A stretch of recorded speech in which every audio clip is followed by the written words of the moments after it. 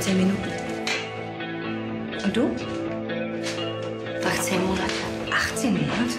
Es gibt hier so eine Art Lagerfluch. Entweder du bist gleich wieder weg oder du bist hier gefangen.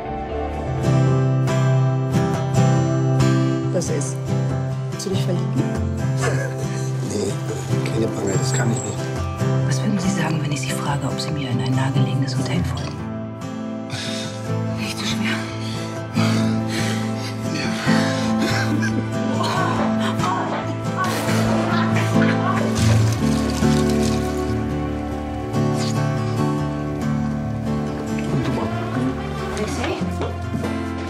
Hallo. Habt ihr Vater und Kind gespielt? Wir haben Makaroni gemacht. Was sind alliierte Sicherheitsdienste? Bei euch sind das die Russen. Hier die Amis, Franzosen und Engländer. Und weil die sich nicht vertrauen, hat jeder seine Spione hier. Die Sicherheitsdienste. Mhm, Was machen die sicher? Wem soll ich vertrauen?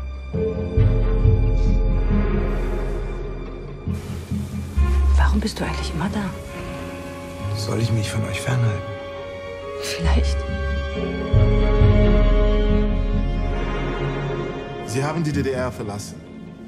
Warum?